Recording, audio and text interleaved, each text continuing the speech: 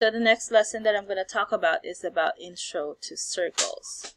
And as you can see here, I wrote down the, you know, important vocabulary words. So concentric circles mean that they have the same center. So one could be one could be bigger and the other is smaller as long as they share the same center. Um, secant line touches a circle two times, um, while a tangent line crosses it only once. Okay, I'm just going to read through the definitions so we can focus on the computations later on. Now, in this figure, this line is tangent to the circle, okay, um, because it touches the circle at only one point. And this portion here is called the radius. Alright, so if I have, um, if I have a circle with a tangent line, uh -huh, so this is what I don't like about writing on a slate. It's kind of hard to draw. So let me try this. So if I have a circle and the tangent line touches the circle only once, okay, so let's move that a little bit. Now, um, okay, now the next thing I gotta do is find my pen. So if I draw the radius from the center of the circle, it makes a right angle at that corner. So in other words, they're perpendicular, right? They make a 90 degree angle. So why is that important? That's important because in Edgenuity later on, they're going to give you some some triangles. Oh, where's my pen? Here. So if they give you triangles like this and you have to find like missing parts of the triangle, then what are you going to do? You're going to use the property that this triangle is a right triangle. And why is it a right triangle? Because the point of, you know, tangency over here is actually a 90 degree angle. Okay. Um, next, diameter. What's the difference between a radius and a diameter? Now, this is only a radius because it starts from the center and ends on a point. Now, if you want to draw a diameter, you have to pass through the center. Okay, so it has to be from one endpoint to another. Okay, and then you have to contain the center.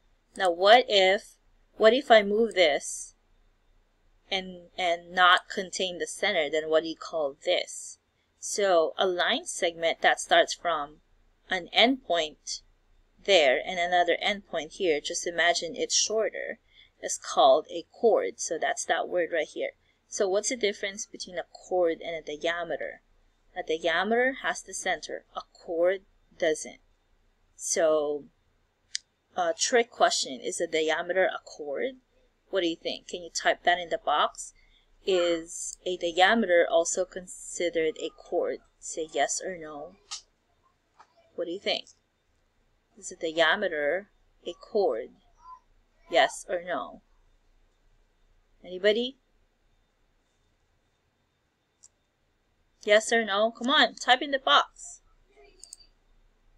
Is a diameter also a chord? Anyone? No? Okay, uh, other answers? Yes? Alright, the correct answer, oh, okay, keep going. Another one. Another one. Angel, you answered yes and no. Come on, you gotta make up your mind. okay, so going back to the question. Now, um, whether the line segment um, has the center or, you know, not, it is still considered a chord. In fact, the diameter is the longest chord.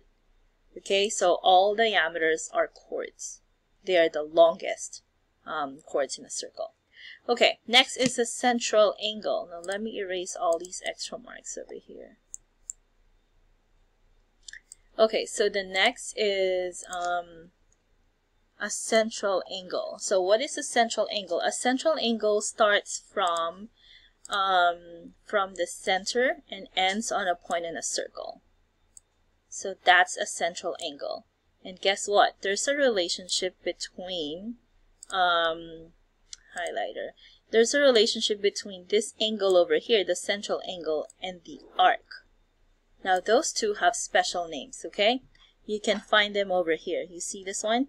Central angle is equal to its intercepted arc and that's going to be used several times in Edgenuity. So what does that mean? Well, what if your central angle measures, let's say, if this is 25, okay, that's too big a font, but bear with me. So if this angle is 25 degrees, then what is the measure of the intercepted arc? So you can think of this like a Pac-Man, you know that game? So this mouth is opening to that. So the opening here is just equivalent to this one. So that means this intercepted arc, where's my 25? There you go. So that's intercepted arc is also 25 degrees. So they're equal to each other. You're going to memorize that. Okay, so using that, if I have if I have a semicircle, I'm just going to keep copying it so I don't have to like draw a new one. If I have a semicircle, a semicircle is like half a circle, right? So this is a straight angle. You know, in Geometry A, you learn a straight angle is 180. So that means if the angle um, if the angle here is not 25 but we're going to change it to 180 so if the angle here is 180 because it's a straight angle then what is the measure of the corresponding um, arc so the arc which is this one the one on top right either on top or at the bottom it doesn't really matter now that's also going to be 180 degrees and specifically you call that um, a semicircle. I think I indicated over here, I wrote it down. Yeah, a semicircle is half of a circle. Okay, now what's the difference between a major arc and a minor arc? So it's like your acute angle and your obtuse angle.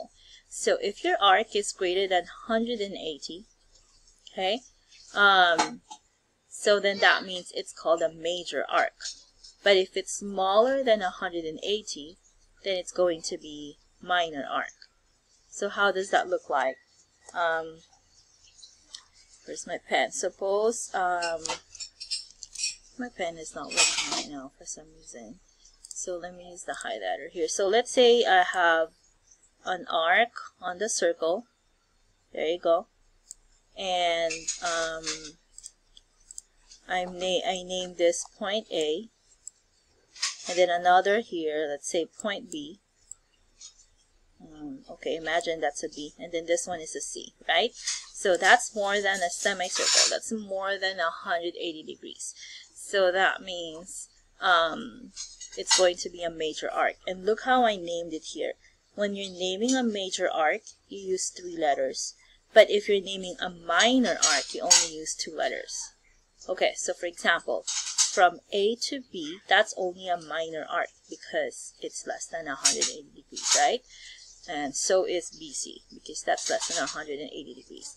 But if you add them together, if you combine them together, then that's going to become a major arc already. Does that make sense? Um, okay.